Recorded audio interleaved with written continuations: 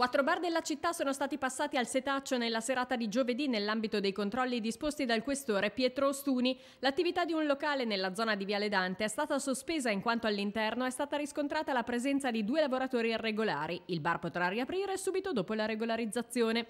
In un altro locale è stato sorpreso un sessantenne piacentino sottoposto agli arresti domiciliari, che è stato dunque denunciato. Inoltre è stata elevata una sanzione per il mancato rispetto delle normative sulla conservazione di alcuni alimenti.